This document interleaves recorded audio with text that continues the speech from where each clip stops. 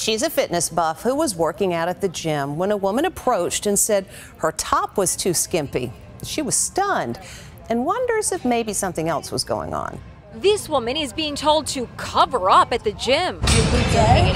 You heard that right. 21 year old Kylen Suttner was working out at her gym in Utah when a woman approached her and said she was showing way too much cleavage. You really think you can walk around the gym wearing that?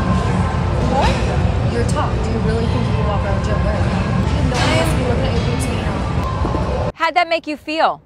just shocked honestly and looking back i'm just i'm just really mad that she thinks that she had the right to say that. Kylen thinks this was about something more than what she was wearing. A lot of people are like, maybe her boyfriend was staring at me and it triggered her.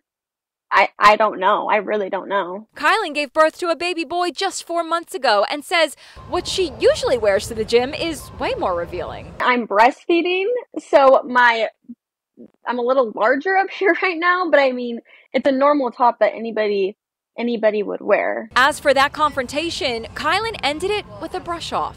Okay,